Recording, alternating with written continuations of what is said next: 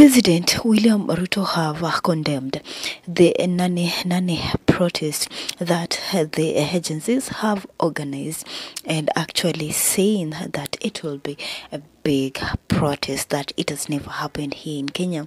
And this is what President William Ruto had said that I urge Kenyans to avoid participating in a Nane Nane protest 2027 Kenyans will will decide who is staying and who will go and that is the message of President William Ruto to the Gen Zs who have planned their protest of the final shutdown or shutdown of the Nane Nane maandamano. Remember President William Ruto had said that actually you know protests or demos have been postponed or or rather cancelled and uh, the court came by Gen Zs and said that actually Kenyans Gen Zs in particular they have the right to protest they, they have the right to demonstrate. So President William Ruto has nothing to say because the court was a or rather is in the side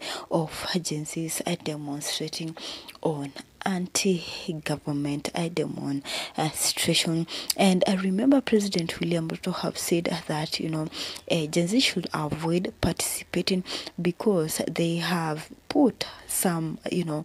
uh, goons to distract